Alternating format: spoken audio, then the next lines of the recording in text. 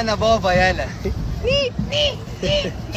ماشية معاك يا كهربا. لاعب محظوظ وامه دعياله خبر سعيد لكل جماهير الأهلي. أزمة الفولت العالي هتتحل قريب خلاص. أنباء تؤكد عن دفع الفريق البرتغالي لنصف الغرامة للفيفا. واللاعب هيدفع نص الغرامة بس. الكلام أكيد ومن على لسان المسؤولين. وقوانين الفيفا واضحة للكل. يعني الغرامة ممكن تخلص الأيام دي والغمة تنزاح. أيوه بشرى سارة. لكهربا وعشاق المارد الأحمر. أيوه زي ما سمعت. طب إزاي؟ هل الفريق البرتغالي لازم يدفع الغرامة ولا ملوش دعوة بكل اللي بيحصل؟ كل الأسئلة دي هنجاوبها دلوقتي في موقع بصراحة. يلا بينا نبدأ الحكاية.